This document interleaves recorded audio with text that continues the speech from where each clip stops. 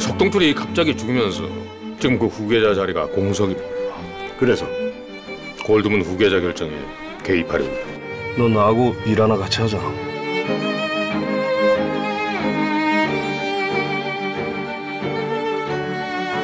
우리 브라더는 딱 이 형님만 믿으면 돼야. 잉?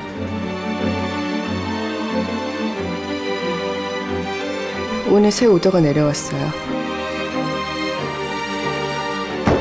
분명히 마지막이라고 했죠. 아무것도 달라진 건 없어. 계획대로 프로젝트는 계속 진행된다. 이게 뭐하는 개수작이야. 이거 진짜 깡패 새끼 다 됐구만.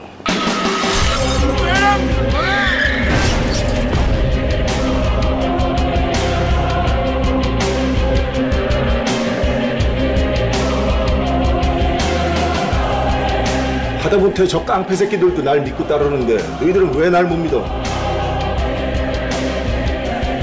예, 브라더. 내가 이 우리 브라더한테 이 미안한 부탁을 해야 쓰거든. 아, 근데 이거 작전명이 뭐냐? 신세계 신세계 프로젝트입니다.